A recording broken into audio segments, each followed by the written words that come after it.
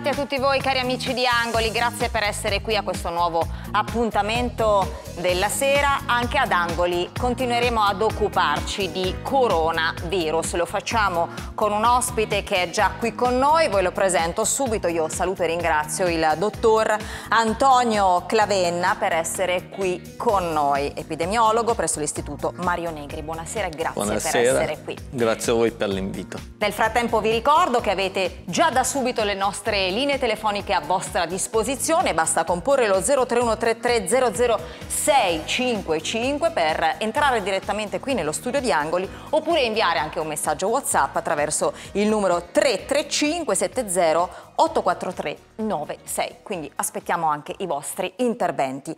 Dottore, allora, prima di tutto, inquadriamo velocemente perché le domande sono davvero tantissime e ci aspettiamo anche degli interventi dall'esterno. Che cos'è il coronavirus? Coronavirus è una famiglia di virus, il termine coronavirus. Quello di cui eh, c'è oggi un focolare di epidemia in Italia è un nuovo coronavirus che è originato dalla Cina a dicembre dello scorso anno, di cui non conosciamo bene le caratteristiche, diciamo che è un cugino di alcuni virus che in passato hanno dato delle epidemie con un numero abbastanza elevato di morti, come per esempio la SARS o la sindrome respiratoria medio orientale. Quali sono i sintomi facilmente riconoscibili?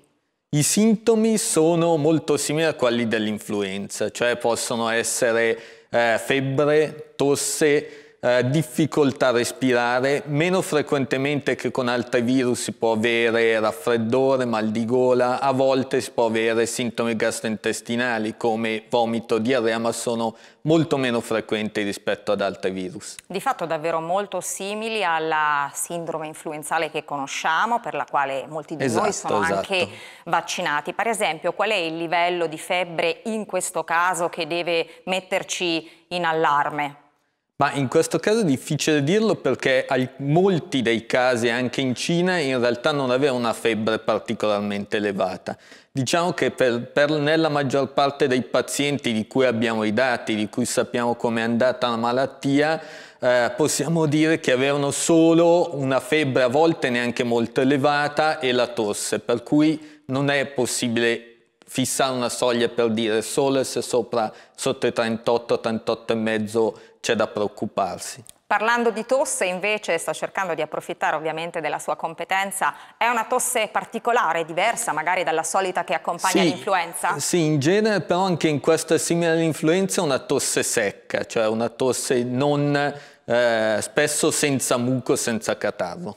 Bene, quindi in una situazione di fatto ancora poco chiara, in realtà tutte le misure che sono state messe in campo aiutano concretamente a proteggere la popolazione dalla diffusione e anche dalla contrazione ovviamente del virus? Sì, queste misure che possono apparire anche abbastanza estreme in questo momento servono proprio a cercare di limitare il più possibile la diffusione del virus nel momento in cui c'è un focolaio in atto. Diciamo che per prudenza la Regione ha preferito estendere al di là di quella che viene chiamata la zona rossa altre misure per evitare appunto degli assembramenti o il ritrovo di persone.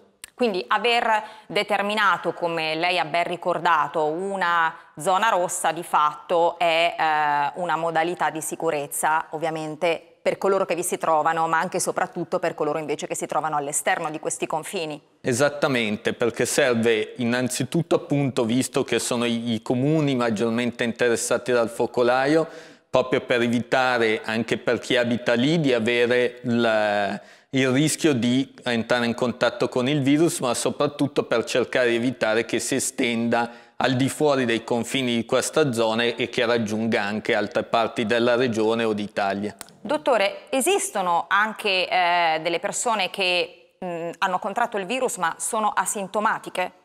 Anche qui non eh, sappiamo dai dati osservati in Cina che esistono, non sappiamo quante sono. I dati ufficiali cinesi parlano di circa un per cento dei positivi al test che non presentavano sintomi È però possibile che in realtà sia una sottostima, cioè che molte persone o senza sintomi o con sintomi estremamente lievi non siano state contate proprio perché non sono giunte all'attenzione di un medico. Qui da noi esiste questa casistica, quindi la possibilità che vi siano anche degli individui asintomatici ma che in realtà possono in qualche maniera essere entrati in contatto con il virus. Sì, sì, è possibile, lo sapremo anche nei, nel, nei prossimi giorni, nelle prossime settimane dai casi che stanno emergendo ora.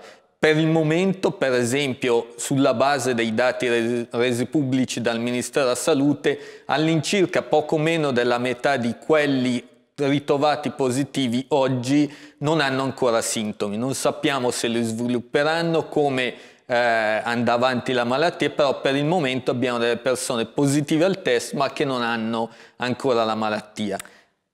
Prego, dottore, concluda. No, è l'altra cosa che dal momento che non sappiamo dove ha avuto origine il focolaio, è anche possibile che in passato ci siano stati casi o con sintomi lievi o con sintomi senza sintomi che avevano il virus e che poi sono stati un po' all'origine di, di, questo focolaio. Ma tutto questo, soprattutto l'ultima parte che lei ha evidenziato, deve creare nella popolazione timore, quello che in realtà un po' si sta diffondendo e che invece eh, vorremmo mm. cercare anche grazie alla sua partecipazione qui in studio, eh, insomma, di, di limitare, trasferendo anche delle informazioni concrete che possano tranquillizzare chi ci sta ascoltando ma creano più eh, complicazione per noi, o meglio per chi come le istituzioni sanitarie deve cercare di tenere sotto controllo la diffusione del virus.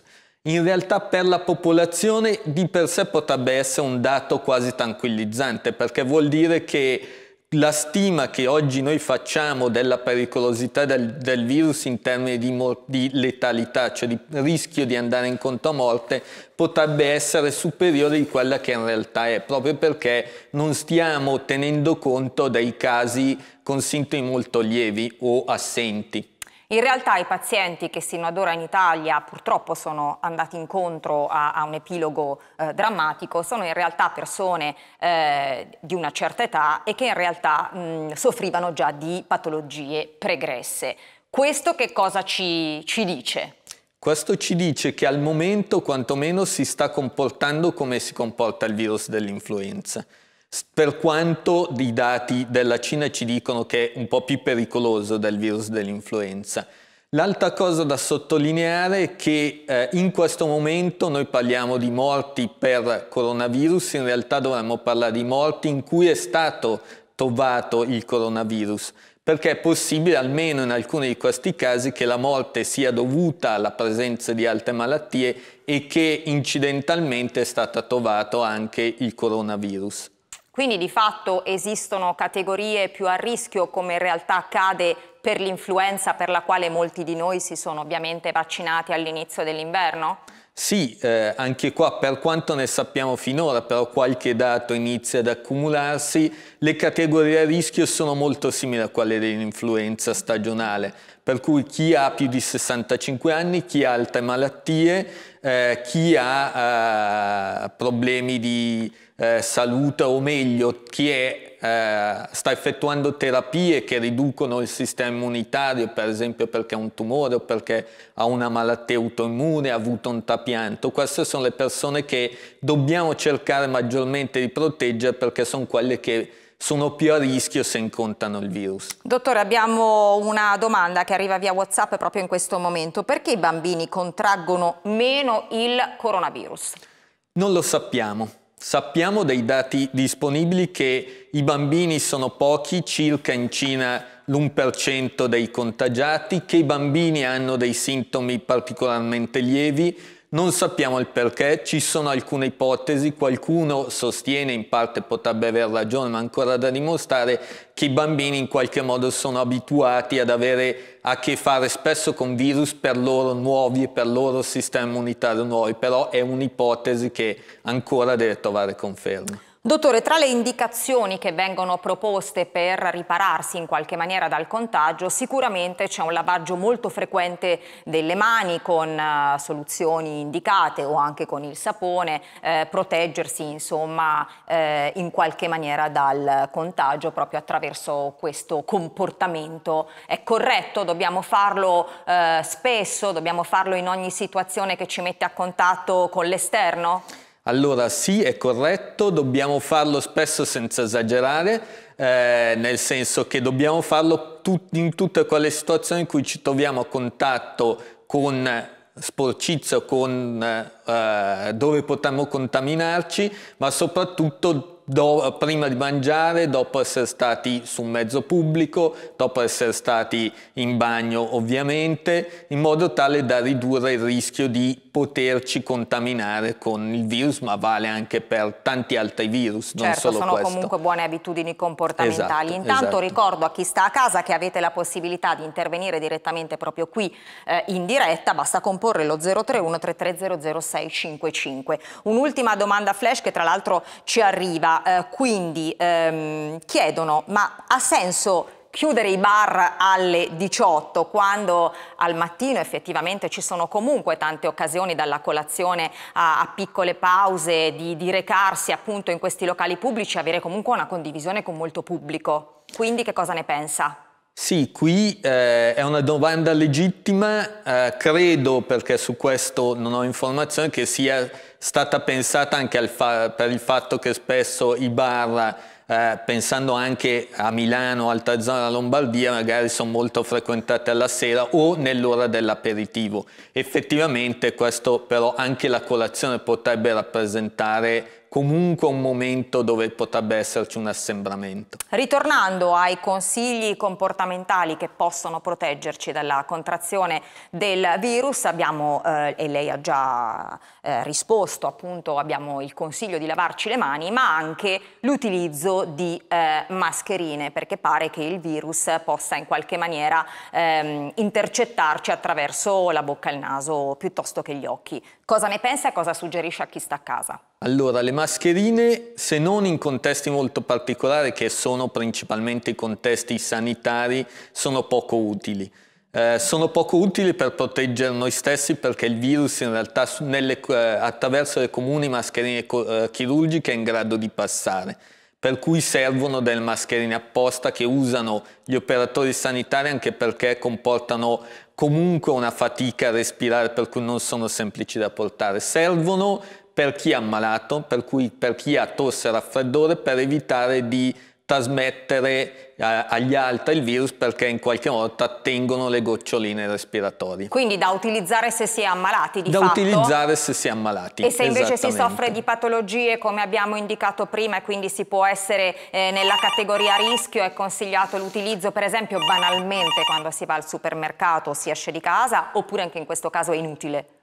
Eh, è poco utile, può essere consigliabile come eh, ulteriore precauzione per cercare di ridurre il rischio, in realtà meglio le norme comportamentali, soprattutto se si ha rischio, evitare le ore di punta se si deve andare al supermercato in modo tale da evitare di essere in un luogo, soprattutto luogo chiuso, con molte persone. Un'ultima domanda, credo, prima di andare in pausa, un eh, messaggio WhatsApp che ci chiede come mai in Europa risultiamo essere la nazione notevolmente più colpita e come non siamo riusciti ad arginare eh, l'arrivo di questo virus. Come vuole rispondere? Qui il problema maggiore è che si è verificato un evento che nessuno eh, teme, eh, voleva che si verificasse, il contagio in ospedale. Purtroppo eh, sia soprattutto a Codogno ma non solo, eh, per le difficoltà e la difficoltà di, fare, di distinguere questo dall'influenza, in realtà non ci si è accorti subito che poteva essere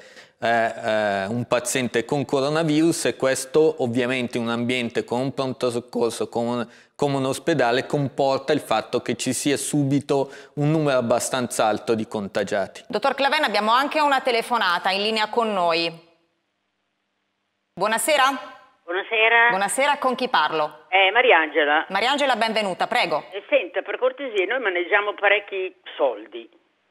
È pericoloso? Non più di tanto, l'importante è anche qui eh, rispetto delle norme igieniche, se non si può lavare le mani dopo aver toccato i soldi, è importante usare i gel disinfettanti che contengono alcol, in modo tale da ridurre la carica virale che c'è sulla mano, però non si trasmette facilmente attraverso le banconote. Bene, eh, ovviamente una breve pausa come d'abitudine, tra pochissimo siamo di nuovo insieme.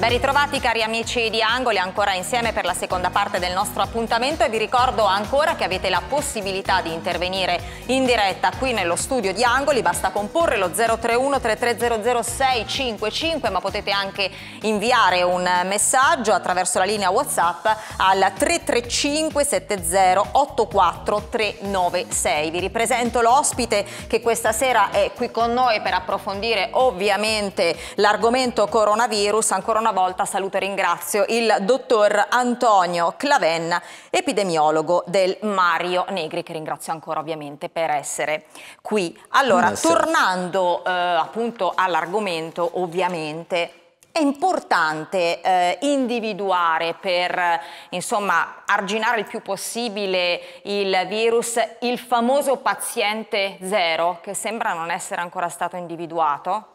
Sì, è importante perché in questo modo potremmo capire eh, tutta la catena di contagio e individuare altre persone che possono essere portatrici del virus che ancora adesso magari non abbiamo individuato. Eh, detto questo, eh, quanto dura eh, l'incubazione del virus laddove fossimo entrati in contatto con qualcuno che in qualche modo ne è portatore? Le stime che, fa che ha fatto l'Organizzazione Mondiale della Sanità e altre istituzioni sanitarie dicono che potrebbe durare da un minimo di un giorno fino a un massimo di 14 giorni. Alcuni dati cinesi dicono che potrebbe durare anche oltre 14 giorni, ma non ne siamo ancora sicuri, per cui al momento quello che sappiamo è che la quarantena per chi è entrato in contatto col virus è di 14 giorni. La maggior parte delle persone però sviluppa i sintomi, diciamo, tra la quinta e la sesta giornata dall'avvenuto contagio. Abbiamo una telefonata, pronto? Con chi parlo? Antonio. Antonio, benvenuto, prego. Grazie a lei. Senta, sento dire che bisogna in caso di necessità rivolgersi al medico di base, ma i medici di base hanno una, un orario come tutti gli altri cristiani, di conseguenza non sento mai parlare della guardia medica, per esempio. Che fine ha fatto? Sentiamo la risposta. Che cosa suggerisce? Eh, diciamo che si può contattare anche la guardia medica anche se la guardia medica magari non conosce bene la storia clinica della persona.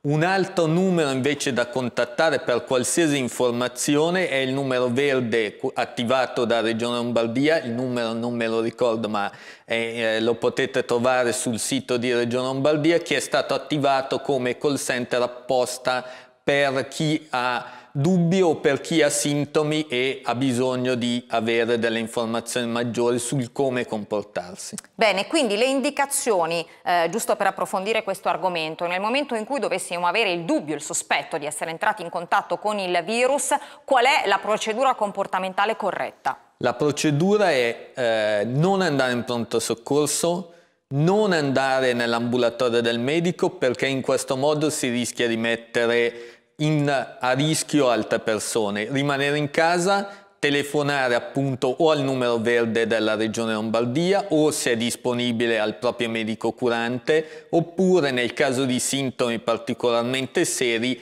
al numero 112 delle emergenze. Bene, è possibile immaginare che molti cittadini nelle settimane eh, precedenti, abbiamo ancora una telefonata, diamo spazio e precedenza, pronto, buonasera, con chi parlo? Buonasera. Benvenuto. Rodolfo Salvatore da Piacenza. Prego, benvenuto. Mi, mi, so, buon, grazie. mi sorge una spontanea domanda. Come mai mm, saranno tutti manager, le persone che sono andate in Cina, Wuhan, solo in Italia, in Francia non succede niente, in Germania non succede niente, nel, nel, nel Regno Unito non succede niente, in Spagna non succede niente. cos'è una specie di isola sfigata d'Italia o c'è qualche altro motivo di disinformazione che non vogliono raccontare? Proprio creando un, un panico esagerato, tra l'altro. Grazie per l'intervento. In qualche maniera forse il dottor Clavenna aveva già dato una motivazione poco fa della ragione sì, per la quale l'Italia sì, sì. fosse considerata il paese in Europa più colpito mentre gli altri meno. Eh, come commenta questo intervento? Il, il discorso è che noi stiamo attivamente attraverso i test che si, vengono fatti eh, soprattutto nell'area dell'Odigiano, stiamo cercando attivamente le persone che hanno il virus e non hanno i sintomi e non hanno ancora sviluppato i sintomi.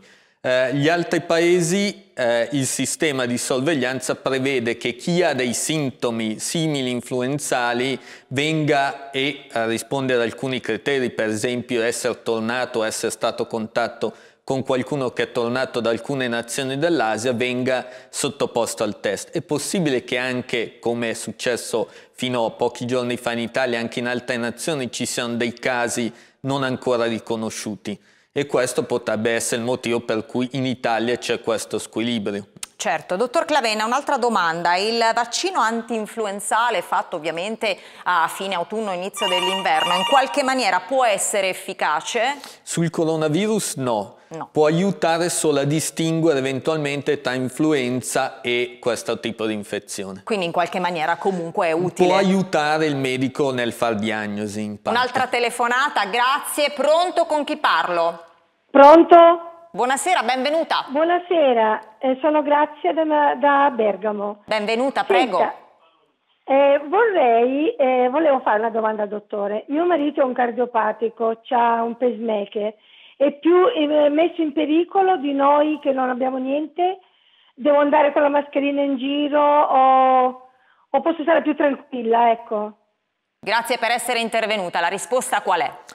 Sì, fa parte delle categorie a rischio per cui è importante che eh, in qualche modo si protegga e che siano attenti i familiari a cercare appunto di evitare di mettersi in, in situazioni dove è possibile contare il virus, per cui in generale oltre al rispetto delle norme igieniche già ricordato evitare il più possibile luoghi di assembramento dove ci possono essere molte persone. Dottor Clavenna, argomento supermercato. Eh, intanto i supermercati sono stati davvero presi d'assalto in queste giornate. È giustificato questo atteggiamento innanzitutto? No, non è giustificato perché comunque e eh, anche nelle zone, la cosiddetta, cosiddetta zona rossa, comunque viene garantito eh, l'approvvigionamento di cibo e le persone possono uscire per andare a fare la spesa. Ovviamente dove è più alto il pericolo di epidemia l'importante è che non si creano assembramenti, che vuol dire che nei supermercati si entra a piccoli gruppi e si cerca magari di stare in fila distanziati di almeno un metro uno dall'altro in modo tale da rendere meno probabile la diffusione del virus. Rimanendo sempre sull'argomento supermercati, un ascoltatore scrive eh, all'interno del supermercato eh, entro in contatto con persone di qualunque genere, eh, quindi posso rischiare anche spingendo il carrello, quindi impugnando eh, insomma, la, la, parte che ci consente di spingere il carrello, di mh, mm, contattare qualche virus, anche il coronavirus ovviamente. Sì, anche qui è un po' come chi viaggia sui mezzi pubblici o in alti ambienti, eh, chi si trova in alti ambienti aperti al pubblico. L'importante è evitare di toccare mano, eh, occhi e bocca con le mani sporche e appena possibile pulire le mani o col gel o con, lavandole con acqua e sapone. Quindi proteggere le mani con dei guanti può essere utile? Per chi si trova magari spesso uh, per lavoro in ambienti aperti al pubblico con tante persone può essere utile. Bene, abbiamo un'altra telefonata. Pronto con chi parlo?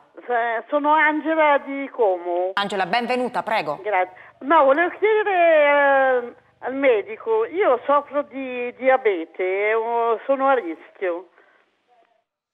Sì, anche, Grazie per essere intervenuta, prego. Sì, anche chi soffre di diabete è considerato una persona che ha un maggior rischio di avere dei sintomi più gravi nel caso di un'infezione a coronavirus. Anche in questo caso la raccomandazione appunto è quella evitiamo per quanto possibile magari luoghi particolarmente affollati con molta gente. È possibile eh, fare una previsione sul tempo di esaurimento o diminuzione del contagio? No, non è possibile. Eh, possiamo sperare, nel senso, per, attualmente la situazione in Cina sembra che stia migliorando. È troppo presto per dirlo. Eh, è possibile comunque che anche nelle, nelle prossime settimane, per qualche mese, ci sarà la circolazione del virus. Tutto dipende da molti fattori, dalle misure messe in campo anche in Italia, dal non sappiamo ancora se con l'arrivo di temperature più elevate il virus magari tenderà ad estinguersi, per cui ci sono diversi fattori per cui è difficile oggi prevedere. Per quel numero di popolazione che in qualche maniera anche nelle settimane precedenti alla manifestazione del virus, alla determinazione delle aree rosse e alle insomma, indicazioni eh, de decise appunto da, dal governo e comunque anche da Regione Lombardia, che in qualche modo fossero, si fossero recate eh, nel, in queste aree rosse o anche banalmente in occasione del Carnevale a Venezia per esempio, eh, e dovessero manifestare qualche sintomo o non lo dovessero manifestare? Qual è il consiglio? Per chi è andato, si è recato nelle ultime due settimane, diciamo, orientativamente nell'area considerata zona rossa, la cosa più importante è tenere sotto controllo i sintomi.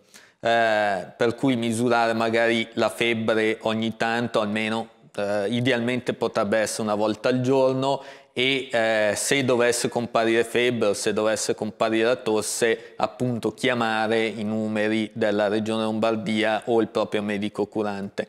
Diciamo da tenere presente che il virus non è nell'aria, il virus lo trasmettono le persone per cui più che essere stati in un posto è avere, essere stati a stretto contatto con una persona che aveva il virus, per cui non è tanto essere stato, non so, a Codogno in paese, ma avere incontrato o uh, aver mangiato con qualcuno, essere stati a stretto contatto con qualcuno che aveva il virus. Per cui per senza, stretto contatto senza, che cosa intende? In dottore? genere è qualcuno che, con cui si rimane in un luogo chiuso a una distanza inferiore a un metro per, per un determinato periodo di tempo, proprio perché la trasmissione avviene principalmente per via aerea.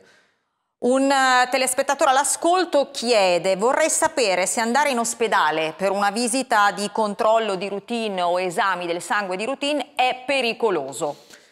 Oggi eh, direi eh, molto poco, nel senso che eh, adesso, dopo il, il, caso di Codogno, gli ospedali della Lombardia e credo anche tutti gli ospedali italiani si sono attrezzati per garantire percorsi sicuri per i pazienti che non hanno sintomi influenzali, separandoli dai pazienti con sintomi influenzali. Per cui attualmente non dovrebbero esserci particolari problemi, se ci fossero sarà l'ospedale a eh, raccomandare magari di spostare una visita un esame. Certamente. Un altro ascoltatore eh, dice sono un paziente di 68 anni, sono stato sottoposto ad un intervento di eh, lobectomia polmonare a causa di un tumore, quindi quali precauzioni mi consiglia di prendere?